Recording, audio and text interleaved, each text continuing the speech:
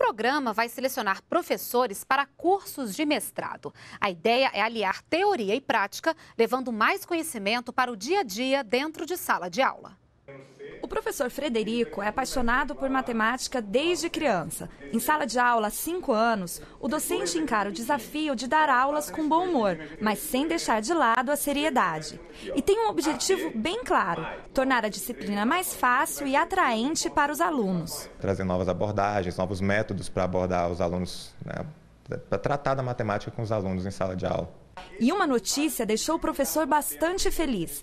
Ele foi selecionado com nota máxima no programa de mestrado profissional em matemática, financiado pela CAPES, a Coordenação de Aperfeiçoamento de Pessoal de Nível Superior, ligada ao Ministério da Educação.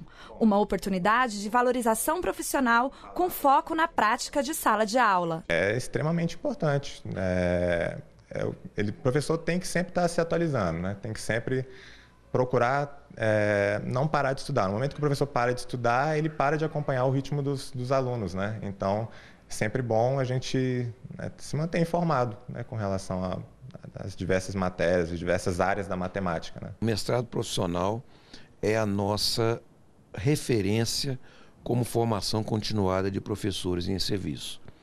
E a matemática, que normalmente é uma disciplina difícil, a gente tem tido uma adesão acima de qualquer expectativa. Quase 3 mil professores já participam do programa em 74 polos presenciais em todo o país. E já existem propostas para mestrados profissionais nas disciplinas de Física e Letras, em análise na CAPES. É claro que a maioria dos professores são bem formados, mas você ter uma formação continuada, de qualidade, que dê um diploma de mestre profissional, isso aí faz com que é, sirva de exemplo para as outras áreas, como a gente já vem vendo.